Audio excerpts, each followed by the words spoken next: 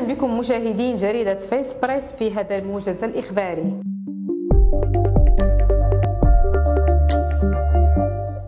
توفي طفل يبلغ من العمر حوالي 15 سنة أمس الخميس وأصيب طفل آخر بجروح متفاوتة الخطورة خلال احتفالات عاشوراء بمدينة سطات كان يلعبان بإدرام النار في إطارات مطاطية حيث انفجرت قنينة غاز من الحجم الصغير لتودي بحياة الطفل وإصابة الآخر.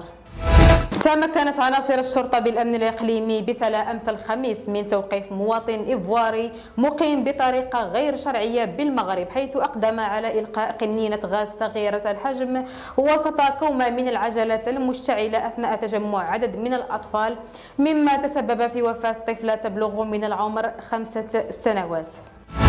أما فيما يخص حوال الطقس فتتوقع المديرية العامة للأرصاد الجوية تسجيل موجة حر مع درجة حرارة تتراوح ما بين 33 و 47 درجة من السبت إلى الثلاثاء المقبلين بعدد من أقاليم المملكة.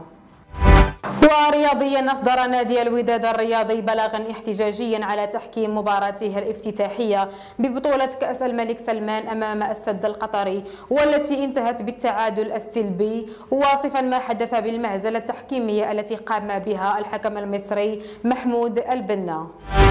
بهذا نكون قد وصلنا إلى نهاية الموجز. مشاهدينا الكرام إلى اللقاء. ما تنساش دير abonner الفيس بريس وتضغط على زر الجرس باش توصل بكل جديد.